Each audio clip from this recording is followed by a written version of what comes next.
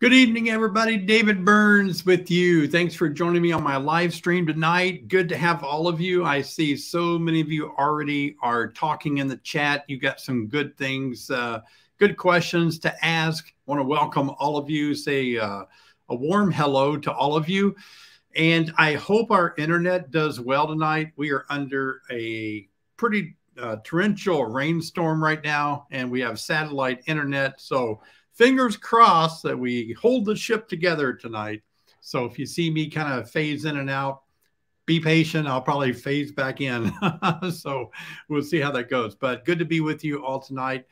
And uh, as promised, tonight we're going to be talking about mistakes that new beginners make. Not really new beginners, but I would say most people that are in their first, second, third, fourth, even fifth year these are still common mistakes that beekeepers make, even five years into it. So I'm going to be talking about that starting off tonight. Let me give a special shout out to Christian and Brian and Sherry for helping me administrate the live stream tonight. Always, always need help. Always a big help to have people behind the scenes helping out a lot. So that's much appreciated. Also, I have a Hives for Hero shirt on. And I wore this in a couple of videos back, and uh, some of you were asking me about Hives for Heroes. And this is a website. I got this shirt from their booth when I was down at Hive Life and um, paid for it because I really like the looks of it and promoting those who uh, serve our country like that. So that's what this shirt is all about, if you're wondering about that. Also, I always want to thank all of you. I'll thank you in advance for when you click on the little dollar sign just below the chat and leave a donation, a super chat or a super sticker. And uh, always appreciate that so very, very much. And uh, you guys are great. So let's get into what I want to share with you tonight.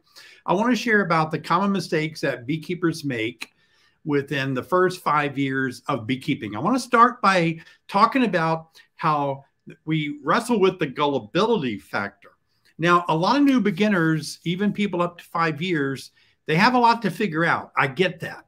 And you're looking at every place possible, like where can I figure out how to do this and how to do that? And so you're going to be talking to maybe some people that you know that are into beekeeping, or maybe you're talking to people at your local club, or maybe you're here on YouTube trying to figure out, oh my gosh, what do I do? I'm started, I've started beekeeping and I'm so confused.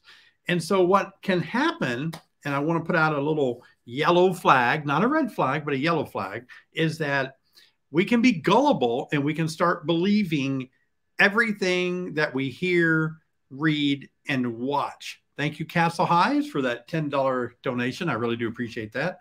But we can be so gullible at times that we start believing anything we hear, anything we read, anything we watch on YouTube.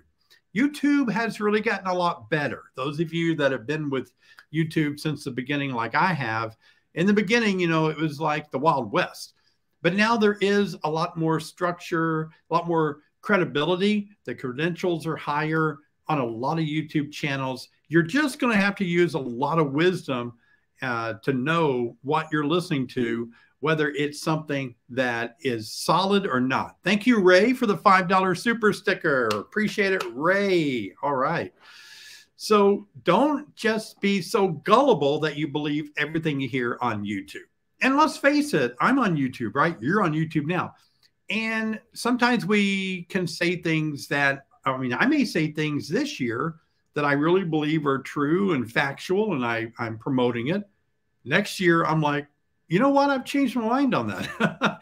uh, in recent recent studies, maybe I kind of don't believe that anymore, or I changed my mind. Science is always evolving. We're always improving. Where new studies are coming out. If we're not flexible and begin to understand the the science and what the uh, studies and experiments show, then we're not going to keep growing in beekeeping. So YouTube is a good place, but take it with a grain of salt. Same with clubs some clubs can be made up of top notch people that are giving you sound advice, very good, helpful advice. Some can be made up of people that are just repeating things they heard that may be inaccurate or not the full story. Same with mentors. Sometimes you can have a mentor that is just rock solid. Perfect. Sometimes you can have a mentor that learned from somebody and that information is not accurate. So you're going to have to you know, take everything with a grain of salt and do your own kind of research so that you don't fall into being gullible and believing everything you have. Now, some of the mistakes that new beginners or one to five year old beekeepers, not really age, I didn't mean one to five year old, but been keeping bees with experience of one to five years, I think sometimes they struggle with, and I know I did, with they have little foundational knowledge. And I'm talking about in three categories. Listen to these three categories bee biology, colony biology, and hive biology. Isn't that cool?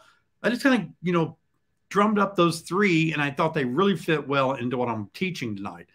Bee biology. That means what is the life of a honeybee? What do bees do at certain ages?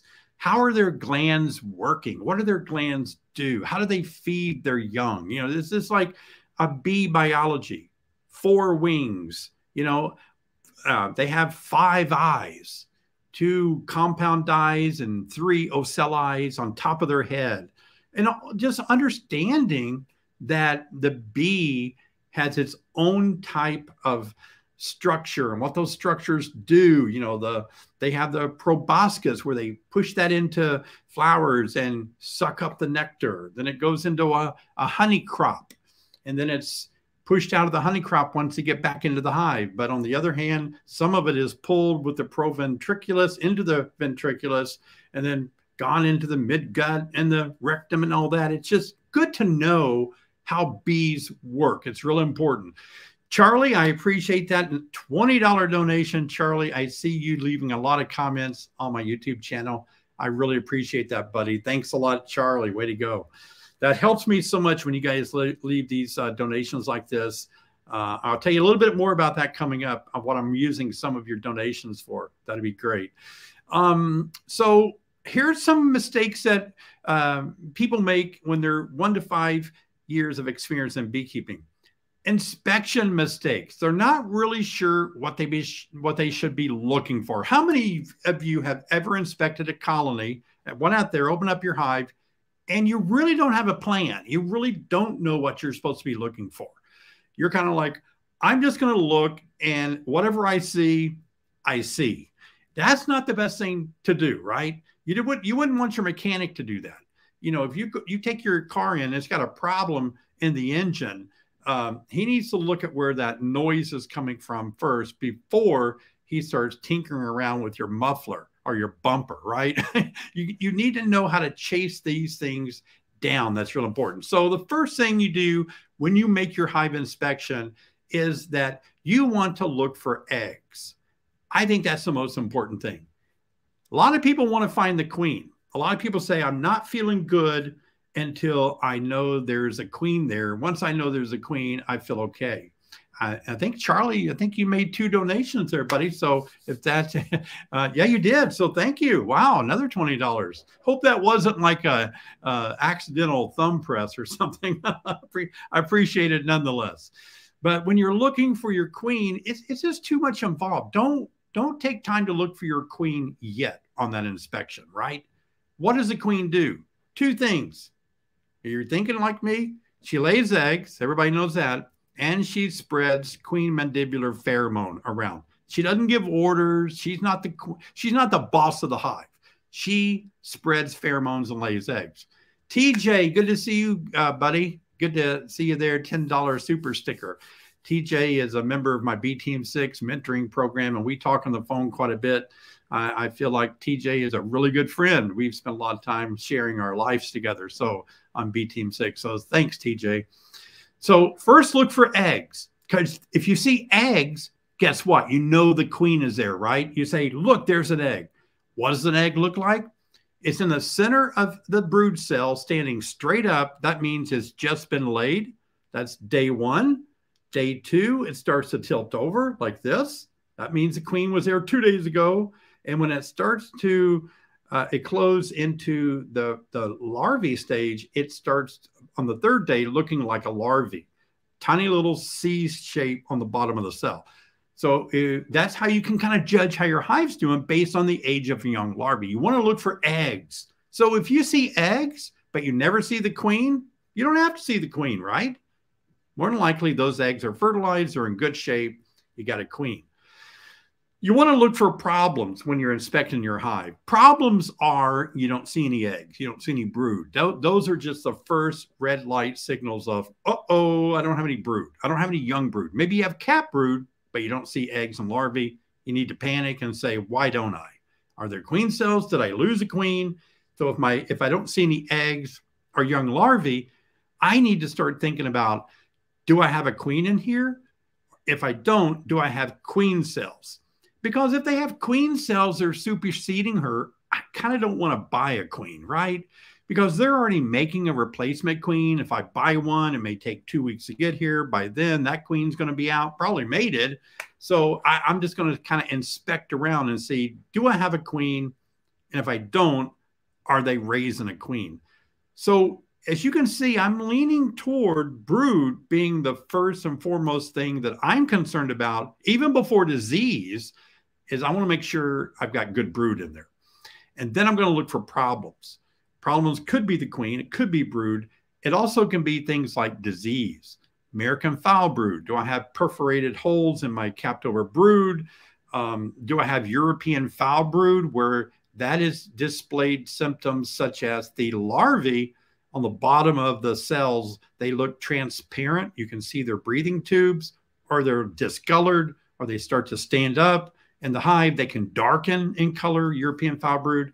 They don't have such of a smell like American foul brood does, but you can see it'd be spotty brood. There's some problems. Could be European foul brood. We, we see European foul brood more in the spring, by the way. So be looking for that. You need to look for any kind of problems like chalk brood, you need to look for sac brood. Sac brood is a is is bad. So you know these things are. You need to familiarize yourself if you haven't already. You need to take a look at uh, these images of diseases in the hives. The last thing that you should do during your inspection that you need to be uh, cognitive of is as a space. Do my bees have enough space to continue to grow? I'm going to talk about this a little bit later, but it's important that your colony has space. How, how about uh, feeding mistakes? Yeah, feeding incorrectly. And that is feeding uh, entrance feeders in the spring, you can usually get by with because there's a lot of spring resources out there. Bees are less likely to rob a hive in the spring when there's other floral sources nearby. But you put that entrance feeder on late summer or fall, it will cause that colony to be robbed out. Why? All the bees you know, that are looking around for stuff because there's a dearth maybe, they smell, they sense that feeder jar, that sugar water in that feeder jar, they're attracted to it from another hive. They go to the feeder jar, work their way there, and while they're there, they help themselves to the honey in that hive. They go back to their hive and say, I found a gold mine. The safe was left open. And they all go there and they rob out your hive. So never good to leave that entrance wide open with a feeder in late summer or fall. That should only be done in the spring. Quite honestly, I don't enjoy putting those on in the spring either because we have cold snaps and bees are less likely to go down and out of the hive on a cold night and eat that sugar water. I like to feed them from the top with my Burns feeding system, and that's right above the cluster. So no matter what the temperature is, that cluster is going to be able to consume that sugar water even during these cold days of spring. Another mistake beekeepers make uh, is that they don't always feed their bees in the spring, fall, and winter. Thank you, Merlin the Wizard, $5. Hey, I appreciate that a lot. That's a very kind of you. Big shout out to Merlin. Really do appreciate you guys uh, donating to my live stream tonight. It, it really does help out tremendously. If nothing more, it just gets me excited and pumped up, and I appreciate it. So somebody may ask, are you telling me I should feed my bees all the time? Not when you have honey supers on, because that you know want that honey, the honey that the bees are collecting to go in to your honey supers. You don't want it to be sugar water necessarily. So think about that. Think about, yeah, I need to feed in the spring, like I just said. Either you're starting a nucleus or you're starting a new package. It's cold outside; they can't get out and get stuff. Might even snow, snow in the spring, right? And you want them to be built up, even if it's a, a hive that survived the winter. Feeding them a little bit, getting them boosted up for for the year is good before the flowers bloom. In the fall, I always like to feed in the fall because that's where I get my bees of dearth physiology. Used to be known as winter physiology until I single handedly changed the name. I'm trying to dearth uh, physiology. So that's a big thing is to feed bees in the fall. I think that's really important. Um, whether it's sugar, beet sugar, table sugar, cane sugar, I don't think it's ever made a difference for me. Get this, you know, a lot of us as humans, we live to be 70, 80, 90 years old. Wow, Texas, hands in the dirt. Thank you for that $50 donation. And uh, thank you for giving a shout out to Sherry. Glad you're going to be raising some queens from my beekeeping uh, queen rearing class. Scared to raise queens? Yeah, I was too. But hey, if you don't do it, you're going to fail. You're going to fail from not trying, right? So might as well try it. And if you fail, you're still better with experience and you can tune up your queen experience and get it to where you're not failing. That's really good. But as I was saying, um, you know, you feed them in the fall to get those bees of dearth physiology. That's what you want. You want these bees working for you all winter long. So feed in the fall to raise bees of winter physiology, and then feed those bees of winter physiology during the winter time. David Galloway, $20 for the super sticker. Thanks, David. And I like that first name. We had good parents, didn't we? You know, I've never been disappointed with my name, David, and uh, I've always liked it. I hear some people say they don't like their name, but uh, we have good names there. hey, Eric, how are you? Let me move my. Uh, can I add uh, same plant base? I can't read uh, because my I'm using this slide right now, but base protein pollen I use for my bees and liquid. Uh, yeah, the if you use, um, I like to use the protein powder, that substitute powder that's made for bees. I think that's important. So I like to use Ultra Bee. Just got 80 pounds of it in today, big bags of it. But any any bee company is going to sell you very good uh, bee pollen, and you can use it in one to one sugar water. Uh, corn sugar, I'm not happy about corn sugar. You know, I, I just have too many other proven methods that I really like and that's uh, you know cane sugar, just regular table sugar. Um, but I I can't be definitive whether that's good or bad for bees. Okay, so feeding the bees in the wintertime, the winter bee kind is what I really enjoy feeding my bees. That's what Ron said. Winter bee kind has done wonders for uh, me in the wintertime. Yeah, the winter Be kind is just uh, a product that I created, designed, and invented the mixture and everything. So that's what I feed my bees all winter because look, those bees of winter physiology, they have the ability to do stuff like create royal jelly in the wintertime. If they don't have a lot of food in there, they won't create uh, royal jelly, and that makes the queen not wanting to lay and all. But if you feed them in the wintertime, you can dial that in and get a lot of brood production going on to keep that hive strong and warm in the wintertime. And it does do wonders. It's crazy. How about mite control? Another mistake new beekeepers make is they don't really practice. I mean, you got to be religious about this. You've got to just really get after mite control. It really is important. I don't think I've stressed that in the past on some of my YouTube videos, but man, I've been picking up the pace now because it, it's one, it does wonders when you really start to treat um, for mites. You got to treat for mites very strategically. Know that they're after your bees. Hey, Mark, good talking to you. Mark, Mark's another BeeTeam Six member that we chatted on the phone with the other night, and uh, he's got a lot of energy. I enjoyed talking to him. Thanks for the twenty dollars super sticker, Mark. Another good name, Mark, and I'll tell you why Mark is a good name because my only brother that I have is Mark, Mark and David. You know, so uh, that's a good name, Mark. Thanks for thinking of us for that donation. So mite control, proper and consistent mite tests. I'm going to say you should test for mites at least every 30 days, somewhere around, you know, uh, mites reproduce in the generation of the bees. So the worker bees are 21 days, new bees are emerging. So about every 30 days is a good thing to just put on your calendar. And I want to tell you this about alcohol wash. They are the most accurate. Yeah, you can use Dawn soap. I understand that. And, uh, but I really believe alcohol wash is a very accurate way to treat for mites. And the thing about alcohol wash is when I was doing the studies on it last summer, made some videos for you guys, I found this and listen closely. Look, pay attention. If you do an alcohol wash, you slosh them around in that Ceracell container, and then you hold it up and you count the number of mites on the bottom, right? And you you come to a conclusion like, oh, okay, I've got X number of mites, so therefore I'm at 2.5%, whatever. I don't think it's over. Wait a minute. I want you to do this. Count your mites on that first rinse, okay? Count them, count the dead mites in the bottom, keep your bees in the basket, pull the basket out, throw the alcohol and the mites away. Now, put it back together, and I want you to rinse it with water. There's no reason to rinse with alcohol again. Alcohol is only killing the bees quickly. So rinse with water, see if you can get more of the mites to fall off the bees because all those bees are clumped together. Those mites could still be like clumped in there. So I want you to rinse once with alcohol, count your mites, rinse again with water, same bees, rinse them again, count your mites, throw that out, and then rinse them a third time. You will be shocked. I was shocked and surprised how many mites I got when I rinsed them two more times after that first rinse. Wow, there you go.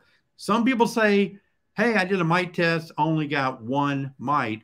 And rinse them a couple more times, you may get more. Should you test every hive in the apiary one out of five? Absolutely. In the doctor's office, when all the patients are sitting out there, the doctor would not go out there and say, I need to do a blood pressure check. So out of the 15 of you, I pick you. Everybody's going to have a different blood pressure. All your bees are going to have a different mite pressure. Now, you can sometimes get away with that, but likely some bees may have more than others. So it's better to test individually. How do you know which bees to take for the alcohol mite test? Should I be concerned about taking too many nurse bees? You know, that's a good question, Daniel Wood. Um, always take mites that are standing around wanting to jump in the open larvae. You see, they they're they're going to reproduce in your closed cells in the larvae. So you want to get those mites that are on the bees hanging around the brood nest area. So make sure you know where your queen is. Don't want to take her in the alcohol wash. Oh gosh but uh, then you want to take bees from the uh, brood nest area, the open brood area. That's where you're going to have your greatest concentration of adult mites ready to jump in there. So that's a good question. Uh, should you rotate the type of mite control products that you use uh, to so mites don't build immunity to the product? most of us uh, most of the literature most of the people the scientists say yes that that's a good thing to do uh, some of these things we believe mites can develop an immunity to a resistance to is a better word maybe but uh, on the other hand uh, some things it's going to be hard for them over time to build up some kind of resistance but rotating different things is going to help a lot sure is um, so anyway, look at this. Oh, Mr. Approachable, five dollars. Do you have a video? Oh, I lost. Do you have a video about inspecting a dead ode to find out what happened and why they died? Inspecting a dead ode to find out what happened and why they died. If, if your bees died, I think the best way to find out why they died is to look back in your notes You've got to look at the notes and say, when did I have a queen issue? When did I have some sort of a problem during the season? Did I have enough bees? What what was the problem? It's hard to do forensic analysis on a pile of dead bees on the bottom. It really is. But if you look through your notes, you might say, aha, I never did recover from that queen issue. I never could get the hive built up, something like that. Uh, where do mites come from? How do they first infest a hive? mites reproduce, they live, their home, their apartment is in cells in your beehives. They don't exist outside the hive. They are in the bees, they are on the bees, they're a parasite. They hang out on the bees, they reproduce in the sealed caps of the pupae, developing pupae. That's where they hang out. They do get on the a forager, for example, and then the forager flies out, right? That happens. And we believe that mites don't intend to take a bus ride to a flower, but they, they didn't know that's where the, the bee was going. And so on a flower, they can fall off or they may jump off on a flower and the bee fly away and leave them there. Another bee can land and they can get on that bee and go to a different hive. I don't think that's a really high uh, transfer rate out on flowers. I think more mites probably come into our bees and get on our bees when our bees rob out other hives. I think that's um, probably what's happening. Jeff, I am going to make a video on the extended release of uh, oxalic acid, but I'm not ready to make a comment on that just yet. So let me say this, guys you need to test, treat, and test. Some people ask this all the time, every conference that I speak at. David, why don't I just treat my hives for mites? That way I don't have to test them. Because last year, a lot of us found that some of the treatments we were using, they weren't effective. We got a bad batch all across the country. It just wasn't working. And so if you didn't know that, you would treat thinking it worked, but since you didn't test, treat, and test, you didn't know it didn't work. Your your your mites were just as high. You went to bed at night thinking, I treated, I killed mites, I'm happy, but your bees are out there while you're sleeping, dying from viruses. So you need to test, treat, and test. So if you test, treat, and test, test before you apply your treatment, and then treat them and then wait about 14 days after you're successful in stopping your treatment. Take a mite count. Let them clean out some of the dead ones. That'd be great. Uh, here's your first donation towards the Flow Hive. David, $10. Thank you. Thanks, Sherry, for all the hive art posted on Facebook page. Love it. Yeah, David is like the winner of all things we ever put on on the internet. He's like he, he we had a giveaway on our Facebook. He won some stuff there. He, we, he'll probably win tonight. You know, pretty soon we're going to have to like a casino. Like if you have too many winner, if you win too much at a casino, I think that guys come out and kind of grab your arms and walk you out. We're going to have to start uh, sending some guards out to David and say, is this a lucky guy or does he know the algorithm or something? I'm just kidding with you, David. Congratulations and thanks for the donation. Okay, so what about making the mistake of evaluating your queen? It's really good that you evaluate your queen and know if she's laying well. Um, listen, a lot of people want to hang on to a queen that's not laying well. Never a good idea. If your queen isn't laying well, you got to fire her. Just fire her, pinch her, get a new queen. You need brood. Brood needs to really cycle fast in the season. Don't put up with a failing queen. If you don't see good brood pattern, don't hope it gets better. Get rid of that queen, replace the queen very quickly. And how about adding boxes? This is another mistake that it's common. One to five year experienced beekeepers they either add too many too soon, and all the bees just make a chimney effect right up three or four boxes when they install a package. Don't do that. Or they add too little too late. They put them in a deep box, failed to add the other deep box after five to seven frames were drawn out. So the bees got congested in that single deep and swarmed. So you got to kind of time that out and make sure you get those boxes um, on the hive at a strategic time. It's going to help so much if you do that properly. So, those are some things that I wanted to share with you guys about common mistakes that beekeepers make. And the first one that I started with, I think is really key. You have to know bee biology, colony biology, and hive bi biology. Know that really well. Do I have to have two deeps? No. If you live in the deep south, a lot of beekeepers in the deep south run one single deep. But of course, you know, the bees are going to expand. You're going to have to deal with the expansion of that by taking frames out, making splits all year long, or stacking a bunch of supers on so the bees can kind of keep their brood nests smaller and they keep putting more brood, uh, more honey above them.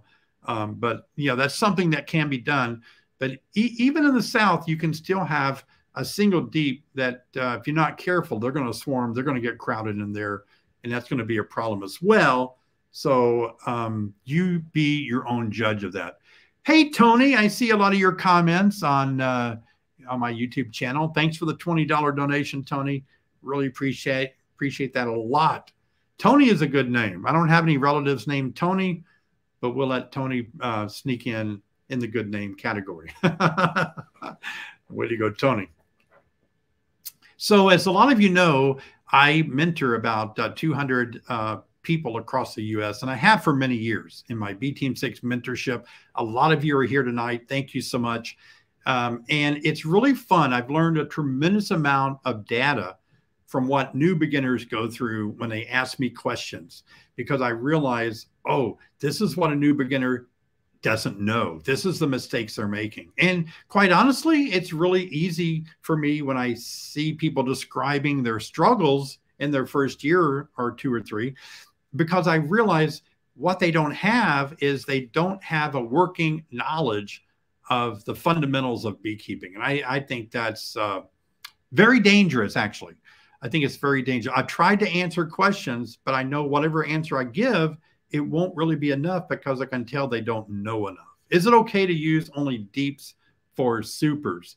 If you have a strong back and you want to just really work out and lift that 80 to 90 pound deep as a honey super, go for it.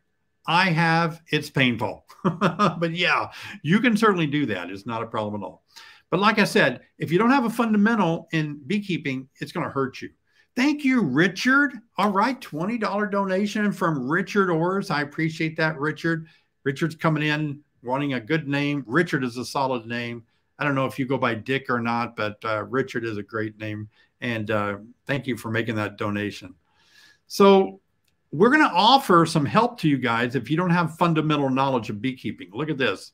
Starting this uh, in just two days, we're going to put our online courses at 50% off. And this is an introduction to spring sale. We know that spring is what, the 20th or 21st of March. So we're going to just put our courses at 50% off as a way because we know the common inflation today is tough. Everybody has to work hard for make a living prices are high.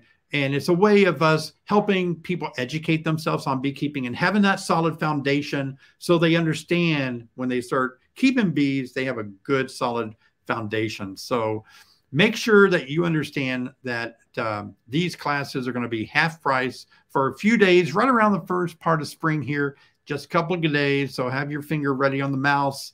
Take advantage of 50% off. That's going to be hopefully helpful for a, a lot of you guys as well. So I appreciate that. Eric says, How many extra hive bodies and super boxes and frames do you suggest in one year? You know, that's uh, hard to figure out. I think that would be great if if we any of us knew the answer to that in advance like this. Um, usually, I'm always desperate for more boxes. I've been building more boxes because every year I'm like, I need another deep. I need another super next week. I need another super. I need another deep. It's like crazy how how fast these hives will expand and run out of room. Um, generally speaking, like for me personally, all my all my hives are going to need two deeps. All of them will need two honey supers. All of them. So that's just a rule of thumb. Now I can only put one super on a, on a time, harvest it, put it back. I can get by with that that's just a little more labor intense for me. So, yeah, I know you got to order some extra boxes. Hey, also, whether you're if you're a brand new beekeeper, have enough on hand that you can go get a swarm and put it in something too. That's important. So, yeah, uh, high flight 2x2 BeeTeam six member. And I, I read your, I think I, if I got the right email there in the night, the right handle, I believe you're a pilot. Yeah, you got to be with that, with that. And you were talking about that. So I appreciate that BeeTeam Six member. Have you mentioned, you've mentioned you'd like to requeen each year uh, when possible. How do you do that? Um, I usually wait until, I believe your name's Jeff, but I usually wait until about um, summer solstice around June 20th. Anytime after that, like the month of July or something, if I got a good, strong population of bees, I can let them raise their own sometimes. That's going to take 30 days. That's a queen break in the brood cycle. They can also uh, cut down on the number of mites that I have because they reproduce in cap cells and I won't have those cap cells over that time period. But if you can't do without those bees for those 30 days, then you might want to buy a queen or raise your own and replace her sometime in late June or July. There's really some good benefits of that, by the way. You can actually have less swarming tendency because her pheromones are going to be really strong in the spring. That could cut down on swarm tendencies, help you control control swarming. So I just either raise queens, put a queen cell in there, let her emerge in that queenless colony once I remove the old queen, or if I if you were to purchase a queen, take your queen uh, cage, pull the cork or the plastic cup off, leave the candy in there, and put it in there after you pull the queen out. Wait one day, 24 hours, let them know they're queenless. Put the new queen in there, let them eat through the candy, and you got a new queen going. How soon can I do my first inspection? A large colony all the way until February is now looking weak, worried I lost a queen. You know, you really shouldn't be pulling frames up, Lou, until you've have temperatures around 60 or 65. You get by with it a little cooler if it's sunny and not windy. What we're worried about is capped over brood, the pupae, they're going to be exposed to cooler temperatures and they need to be incubated at 92 plus temperatures, 92, 95 degrees. If you pull that capped over brood out, it could really hurt them and not be good for them. So as soon as you can get in there and it's not terribly cold, yeah, take a look to kind of calm your nerves about your queen. Some businesses are advertising queens that are open mated. What does that mean and how do they ensure that? Oh, good question. Yeah, here's how that works. Open mated means naturally, like you have a virgin queen. Maybe I raise a queen, I put her in a mating box. I let her fly out to a drone congregation area where drones are hanging out, waiting for a virgin queen to show up to mate with. And, and she will mate with 20 to 80 drones and one mating flight. And all that sperm is stored in her spermatheca for her entire life. She can fertilize eggs until she dies, usually three or four years. Open mated means we just let nature do its course. The opposite of open mated might be II, instrumental insemination, or sometimes they call it AI. yeah. And uh, A, AI, artificial insemination, that's when uh, we actually um, extract the semen from drones and then we insert it into the queen in a laboratory. So she's instrumentally inseminated. And uh, there's a lot of talk about that, a lot of discussion. II has been done for a lot of years, and uh, you have a little more control over the selection of the sperm that you're using. If you open air mate, you know you're you're you don't know what you're getting. All the drones from a lot of congregations are hanging out, a lot of hives are hanging out in that drone congregation area? Yeah, that's a good question. I, I sometimes don't remember that all these things that are common to a lot of us that have done this for a while, like raised queens, some of the terminology that I use, I don't realize that some people don't know what it's all about.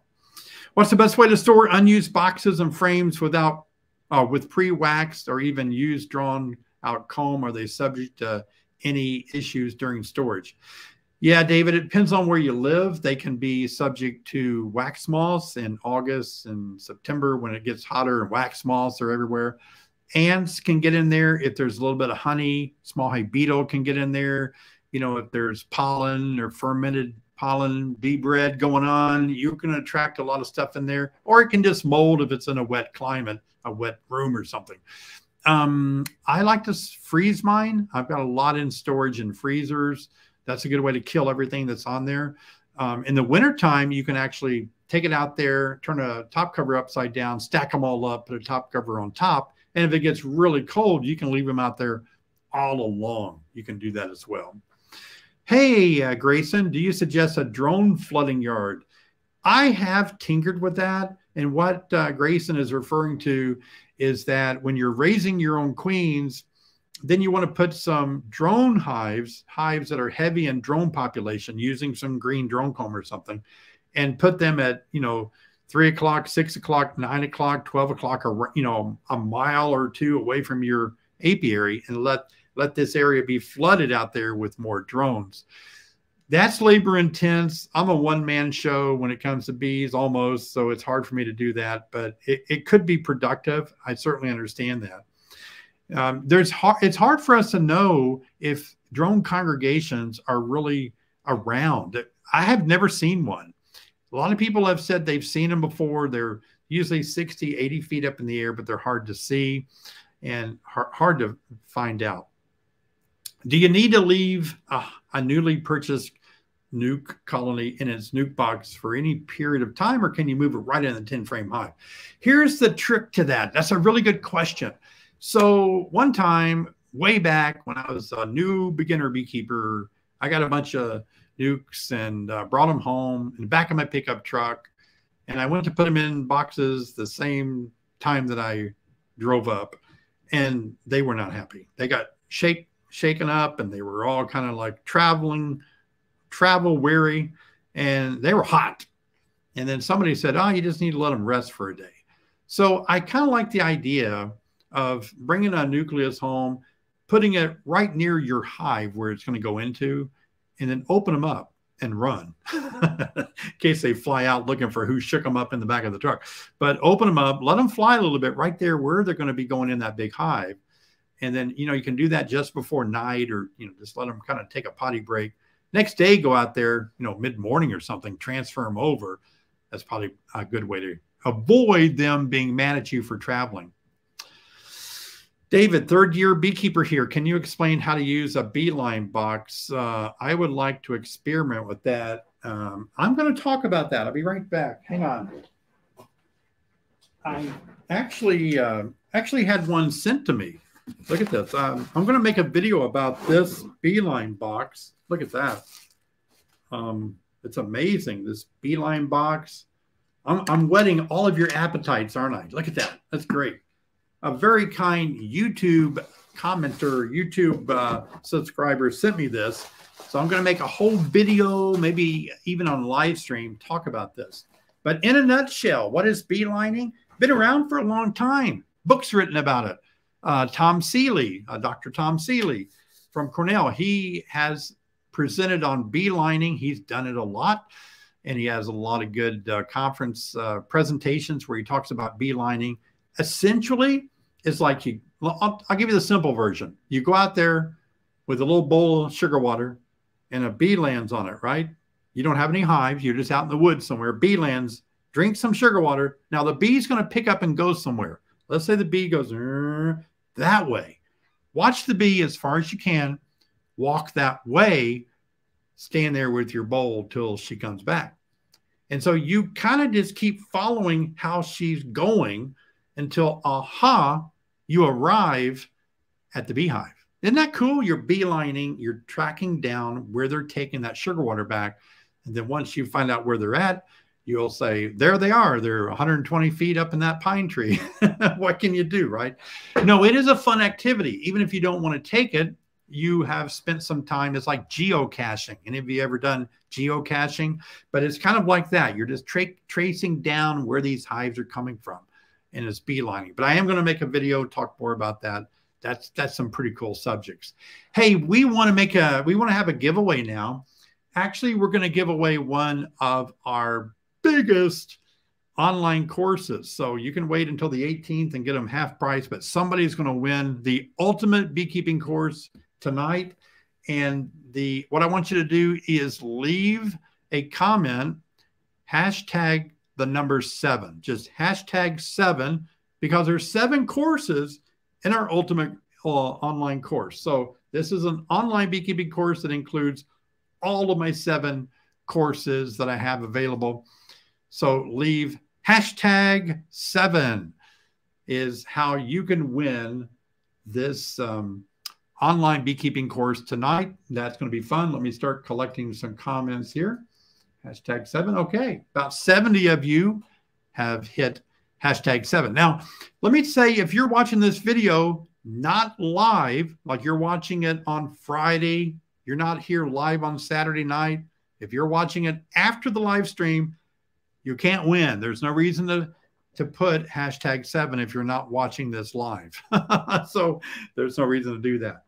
Got 130 uh, people trying uh, to win the ultimate beekeeping course. It's fun. Uh, it really is. I, I tell you what, I loved making these online courses. It took a lot of work, took a lot of time, but they will be 50% off starting in a couple of days. If you don't win, go to your spouse, go to your buddy and say, Gosh, I didn't win it, but I really want these.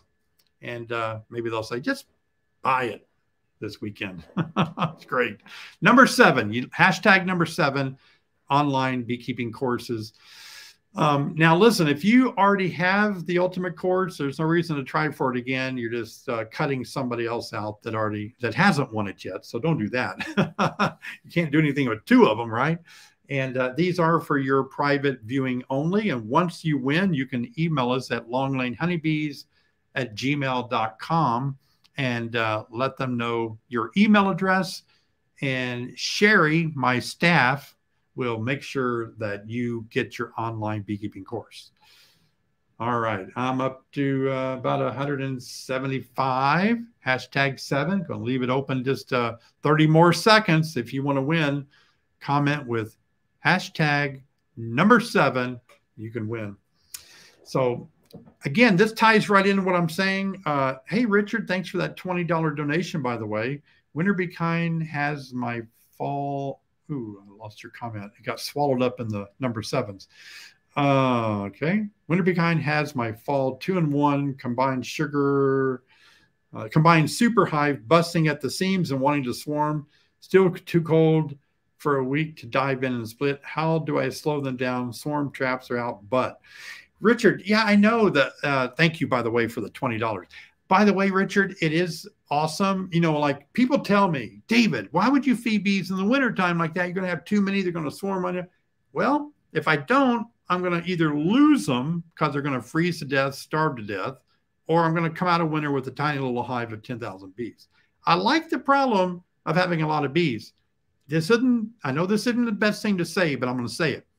Even if my bees swarm and I lose half of them, I still come out of winter with more hives or more bees than if I hadn't have fed them. Like if I come out of winter with 60,000 bees, I'm coming out with 30,000, even if half of them swarm. In the old days, I only came out of winter with 10,000. So, but anyway, try to control swarms. Richard, here's a trick, a little trick. If you're worried about swarms and you need a little bit more time, you can throw a queen excluder between the bottom board and the bottom deep box. The queen can't go through that and if they try to swarm, mama's not going with them. Don't leave that on there forever because drones aren't going through it. It's going to clog up stuff, but you can buy maybe a week time, week to 10 days if you're desperate. All right, let's go ahead and do a little drawing. Let's see. I need to get that screen over here. Give me a second. Uh, what is that called? Share screen giveaway. Share that screen over here. All right. Uh, how do I make that screen a little bigger? It's kind of small. Maybe I'll take my face out.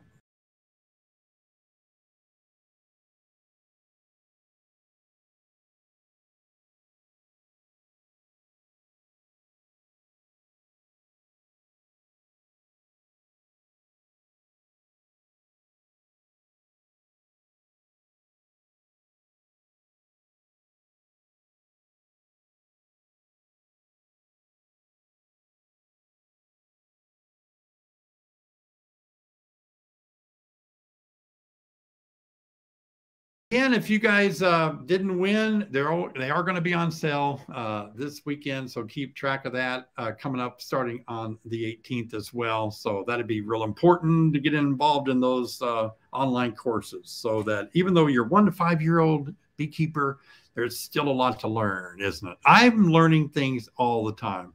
And every day I'm learning something new about beekeeping. So no matter where you're at in your beekeeping career, I know all of us continue to learn as we go. It's real important. So uh, let me just kind of summarize tonight. If you are thinking about uh, your beekeeping endeavors starting up, and a lot of you are new beekeepers, be pumped up and excited. It's okay to make mistakes.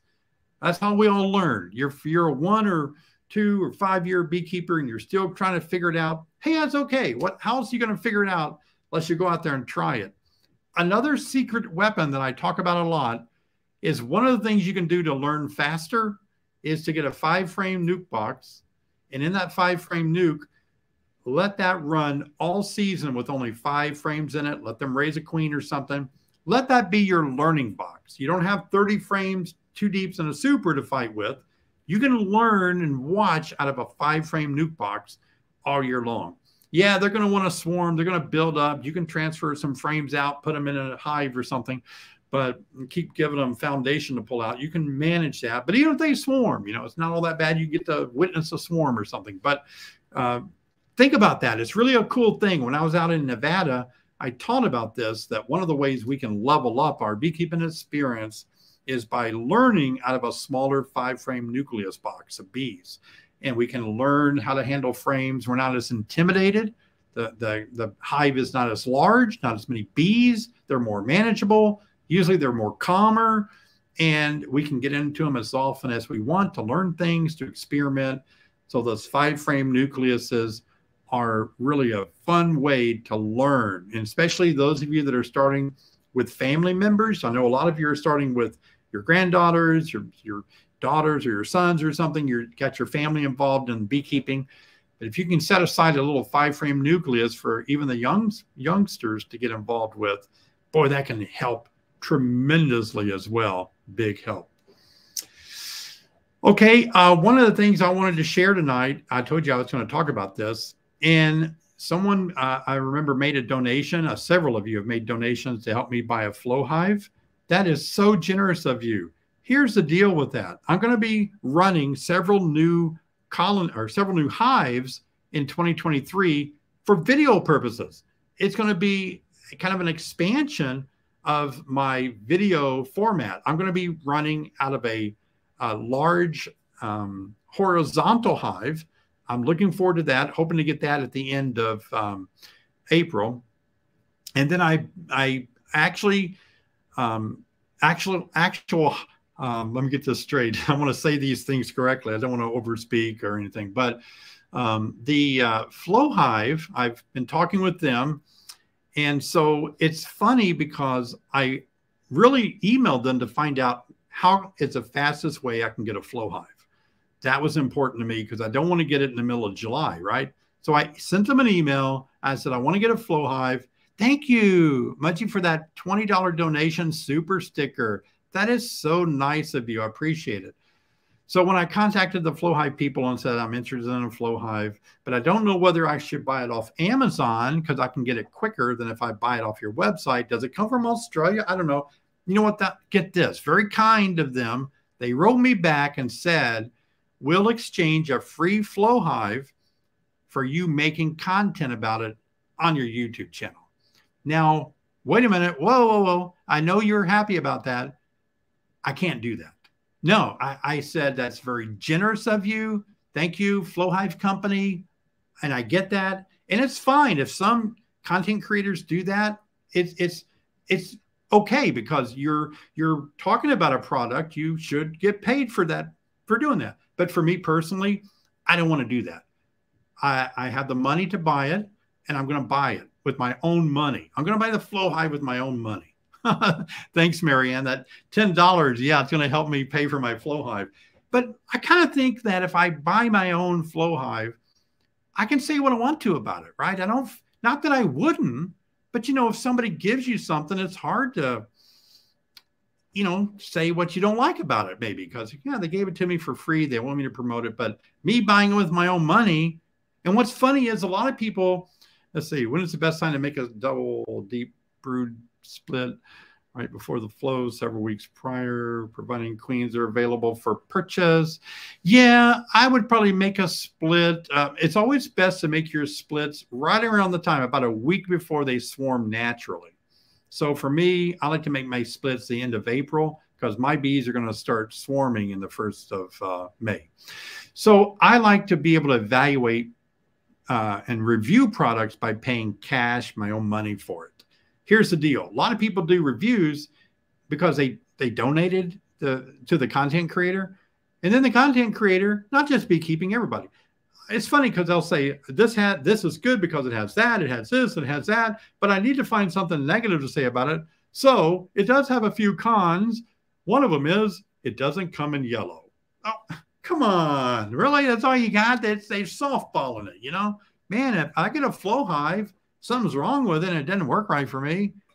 I paid for it. I have I have every right to say this doesn't work right. Or if it's wonderful, I don't feel bad saying I paid for it with my own money and this thing is this thing rocks.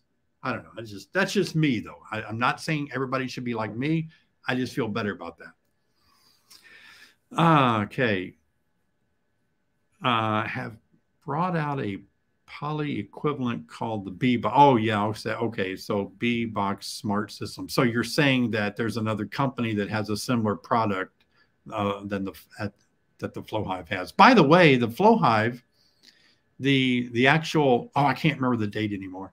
The actual FlowHive uh, concept, where you turn a crank and frame separate, honey comes out, had a patent on it way back. I don't know, was it 1930, 1940? It was way back. It had a patent on it, but the patent ran out and it was made a little differently. It was made out of, uh, I think, metal, maybe. And so it wasn't a brand new concept, by the way, when it just came out recently. It had been a concept from way back. I ran a top, oh, a top bar hive and a horizontal last year. First year was tough, but I'm excited this year. I've ran top bar hives. Yes, I've ran top bar hives. I haven't ran the big horizontal hives, the big square ones, you know. I had a I had a flow super. Oh yeah, just a super, right. Greg. Greg now. I lost the comment. Greg now uses it. Was that Castle Hives that said that? Here it is. Oh yeah, uh, Greg now uses it at his learning yard to show folks how it works. Okay, uh, cool. Uh, Flow Hive. So you can just buy the super and put it on top of uh, of your Langstroth boxes. So that's good. I appreciate that, Brian. Yeah, and um, I like. I'm wanting to do it because I think it'll help me understand how all these things work. People ask me what I think about them. I can honestly tell them I ran it. This is what I think. Yeah, uh, Gene, integrity is important to me. Um, indeed. Now, let me get this straight though. I I'm not opposed to somebody sponsoring my channel. Like somebody says, "Hey, you work hard for these videos, David. If you have this product, then we'll pay you and help support your channel." I'm not saying I'll never do that. I have got a ton of proposals, but let me tell you, some of these proposals are thousands of dollars. They really are and the products are worth three to five thousand dollars. People are giving me uh, proposals every. You know, you get a hundred thousand subscribers. They give. They want their. They want their product on your page. But here's my deal. Here's the dealio with that. Um, they don't fit with you guys. You're you're you're the reason I make videos, and so I'm not going to endorse or have a sponsorship kind of drag my videos down trying to sell an anti-snoozing nose mount or an electric bicycle or a mattress that does miracles. You know what I mean? I just can't bring myself to, I, I'm not that hard up for money yet. if I get really broke, you guys are going to, have to put up with anti snoring nose mounts and you're going to have to put up with mattress ads. but boy, if you keep donating like you did tonight, uh, I appreciate that. That gives me some flexibility to turn away these sponsorships and uh, focus on the value that you're getting out of my videos. Because sometimes I watch videos and all at once there's an interruption of this long, drawn out sponsorship. And I kind of don't like that. I have used styrofoam beehives before. And uh, funny thing about that, I was, I'm always used to putting my smoker on top of the top cover. and I'm working a, a, hive there. Thank you, Stacy, for the $10. Appreciate it. You are sponsoring this video.